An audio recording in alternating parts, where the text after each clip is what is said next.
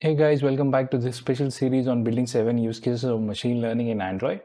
So this is the last video where we finally build the spam detection model using text, uh, text classification. So this is based on this pathway from Google developers get started with mobile text classification. So they have this pathway where they build this spam classification app, spam classification app from scratch. And then you have the code labs for uh, building the model and they've explained how the model is built. And then finally a Google Colab where the actual code is there to build the model as a TensorFlow Lite. So I've already executed these steps and one thing that is different from other pathways is that this model will also export two files which are the labels and the vocab. So vocabs are for understanding the words that are used and as part of the comments and the label is basically to tell whether the output has to be true or false, whether the comment is spam or not. Just a reminder, if you are interested in learning Android using Kotlin, the new recommended programming language for Android development, I have a detailed course on my own YouTube channel. Please do check it out. So let's get started. So let's go back to our Android studio. So in the last video, we actually forgot to add the bindings which connect the UI and the activity. So let's first do it. So let's do that quickly. So I'll just copy paste this to make things easier.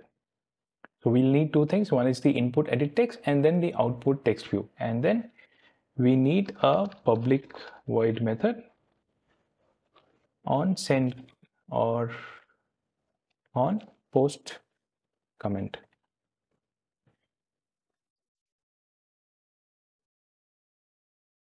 And now if I go to activity text helper and I go to the code for this button, I can just add it here. So our comment thing, so whenever the user clicks the button, this method will get executed and now we can write a protected method which we can call run classification which will take a string as an input. So here, whenever post comment button is clicked, we will call this run classification method, which will actually get the text which has which the user has entered from in the edit text. So get text dot toString. So just passing get text or just doing a toString doesn't work. You need to do a get text dot toString. So I'm not checking whether the box is empty or not. Maybe that you can add later. But for now, this should work. So again, uh, let's create a new package under text. So a new package called text and then our final activity, which is the spam detection activity. This is just a class which will actually extend the text helper activity. So again, we need to override two methods on create and the run classification. So next thing that we need to do is to add the library, which will help us to classify this text and also to import the models.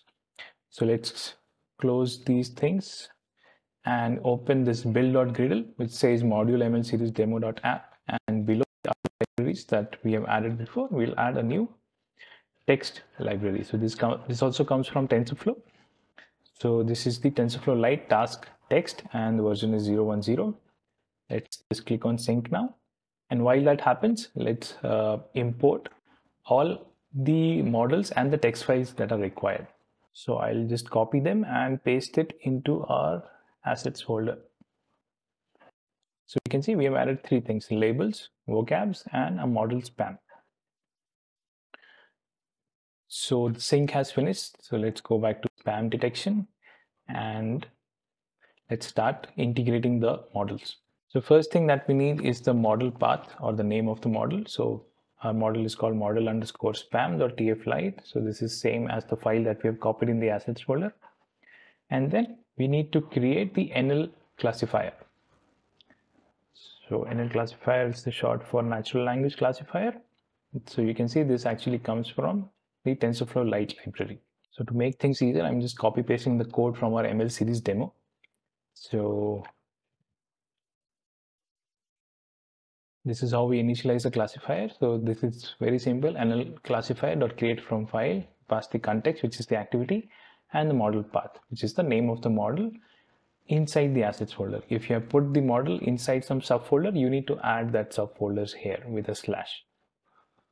Okay, so our classifier is initialized as soon as the activity is launched and then whenever the user clicks the button, we need to run the classification. Okay, so we are actually using comment and not text and we are directly using the output text view. Okay, so what is happening is as soon as the user enters a comment and presses the button, this classifier dot classify comment will get executed. And we are getting so this model is actually same as the bird sound identifier where apart from text classification we are also classifying whether the comment is spam or not. So we use the second output not the zeroth but the first one which is actually the second output and we get a score if the score is greater than 80% then we classify that comment as spam. Otherwise we just said not detected as spam. And we also output the score here. So from the code side this is almost ready. Uh, one more thing that we need to do is whenever the activity is completed or destroyed or the user goes out of the activity we need to close this classifier so yeah that part is done. And now let's uh, change our method in main activity to launch this spam detection instead of the text helper. So let's go to main activity. And instead of text helper activity we will launch our spam detection activity.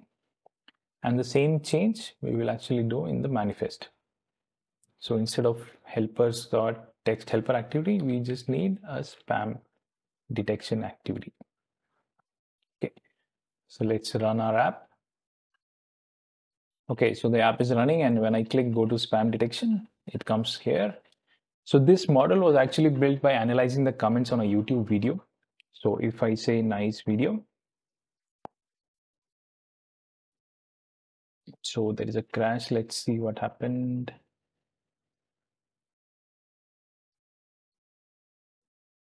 Okay so what it's saying is that the edit text not get text was called a null object which means we have not initialized the buttons on and the output text view properly. So let's go to our helper text activity. So yeah we have just created these variables but we have not actually initialized them.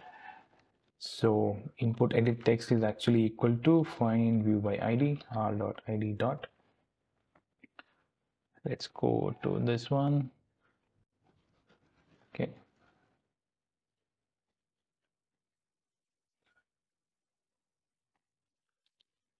So let's change it to comment.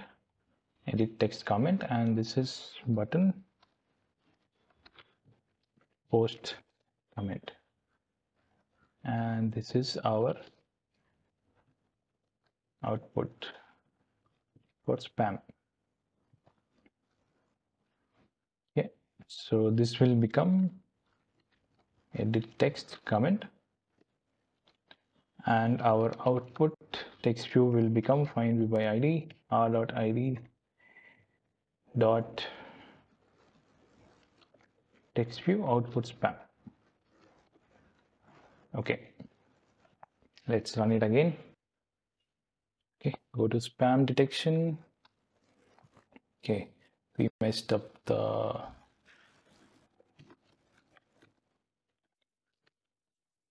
so we messed up the look and feel. So you can see everything is coming on top of each other because we updated the id but we didn't do a refactor.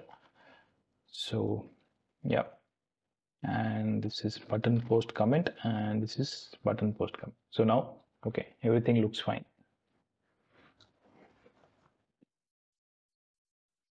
So whenever you're changing the IDs actually do a refactor by going in the design view here and not directly changing in the XML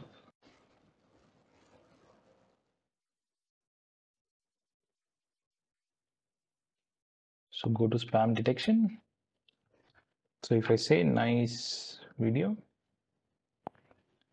so it is not detected as spam, but if I say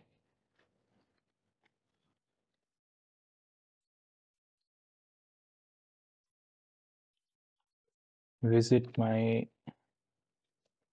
website xxx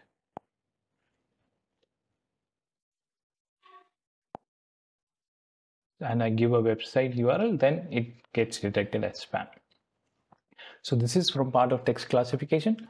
So we can see how we can integrate a custom text classification model and even before a comment is sent to the server, we can actually stop the user from commenting it. So hope you enjoyed the series and uh, if you need some other use cases, please do let us know in the comments and we will try to come, we will try to make a video for you. Thank you for watching.